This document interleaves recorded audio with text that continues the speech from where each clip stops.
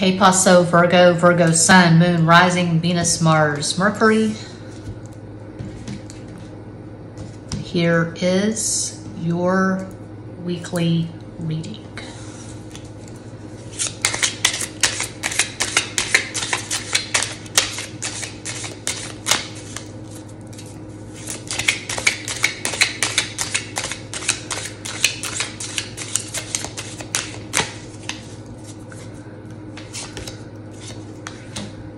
Eight of Coins, Eight of Pentacles, Ocho de Oros, the Devil, El Diablo. So I'm already getting strong Capricorn energy. Capricorn, eight is the number of Capricorn. Full Aquarius, High Priestess, Cancer, Page, Page of Wands, Nine of Swords.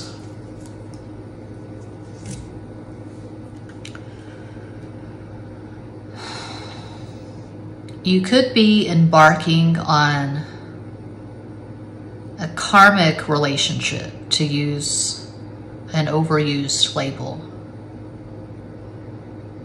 What is a karmic relationship exactly? Well, it's a relationship that doesn't always feel that good. Lessons must be learned, and the lessons must be mastered to get out of the karmic loop. You could be dealing with an Aquarian or someone who has strong Aquarius and Capricorn energy. So they could have Sun in Aquarius, Mercury in Capricorn, Moon in Aries, Cancer rising. That's one example of many. But what exactly is going on with this person you're in this so-called karmic relationship with? Stop, start, on, off, on again, off again. Um, lately, I would say the communication has been pretty sporadic. And whenever the two of you are communicating, it looks like it's pretty sex based, very lusty, very sexual in nature. But I'm not seeing warmth. I'm not seeing tenderness. I'm not seeing emotional intimacy. And if we're being real and we're being honest, which I always am, I'm always real, I'm always honest, I'm the most transparent tarot reader that I've seen at YouTube. Um, I see this sort of thing a lot. It's extremely common. So don't feel like you're being called out or you're being persecuted or whatever. This is very common on again, off again communication that's not very satisfying and it's mostly sex based. You are the first sign that I'm using this deck on. I just bought this fresh from the package at our favorite comic book shop in San Antonio. I saw it in the checkout line. I had to snatch it up. I used my son's old Venom action figure in one of my other channels and videos from one of my other channels that has just a little over 100 subscribers. Anyway, um, I started with Pisces yesterday. I went from Pisces to Leo and now Virgo. First sign of Saturday. And you're the first sign to get this awesome Venom deck. Six more cards for Virgo. What is going on with Virgo?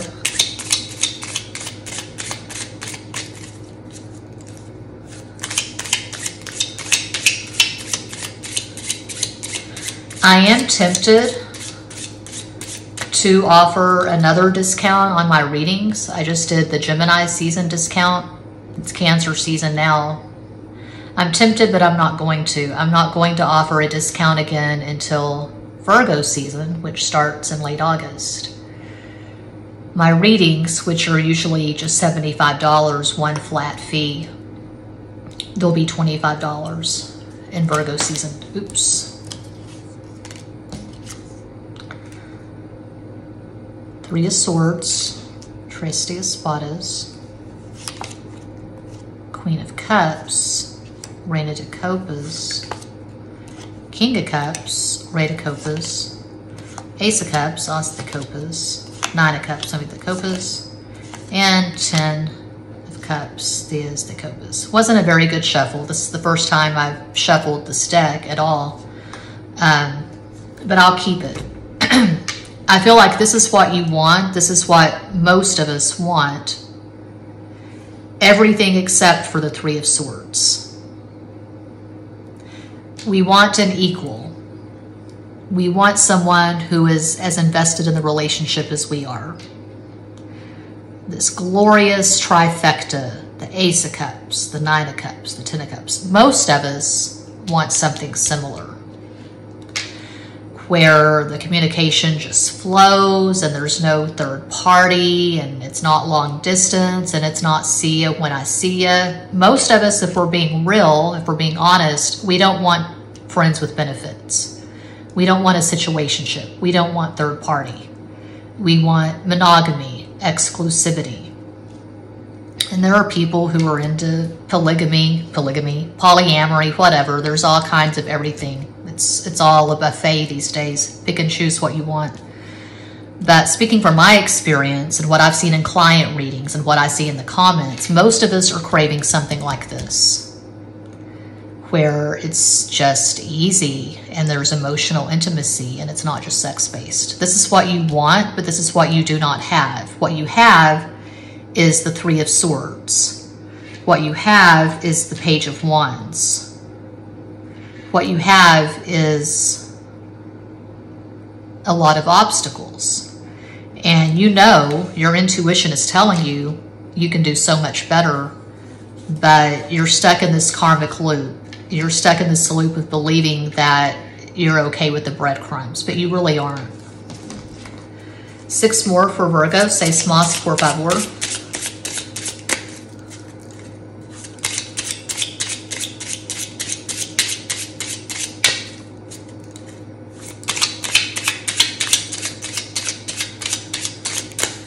Song by Capricorn Janis Joplin comes to mind, Get It While You Can. It's a pretty bleak song.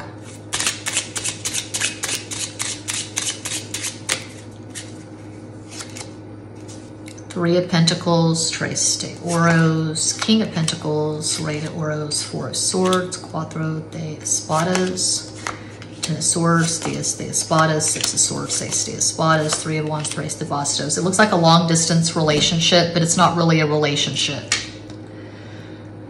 That's just the way I see it. If there's not consistency, if there's not mutual respect, if you don't feel good interacting with the person,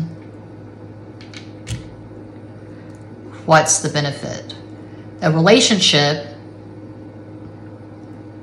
is very energetic. You have two people who are energetically contributing to the relationship. I feel like I use the same words over and over again. Um, but I am seeing some bullshit. What I say again and again, I've been saying it for years. I started Siren Tarot in November 2018. The best cards in the deck begin with each of us.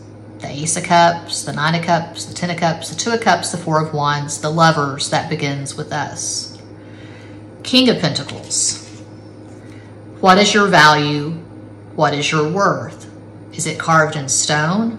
Or are you willing to compromise? Are you willing to accept breadcrumbs? Are you content? Are you okay with accepting someone's half-ass attempts at intimacy, someone's clumsy attempts at intimacy. If there's purity of intent, that's one thing, but I don't see purity of intent here. I see someone who could be duplicitous, uh, someone who could be deceptive. You could be dealing with someone who has, the word narcissist is overused. Everyone's a psychologist on YouTube these days, but this person could have narcissistic tendencies Maybe they are a full-blown narcissist, but I feel like you're dealing with someone who is very self-absorbed, very selfish. They're not prioritizing you and your feelings. They just contact you when they're wanting to feed their ego. Is what I'm getting. Know your value, know your worth, carve it in stone.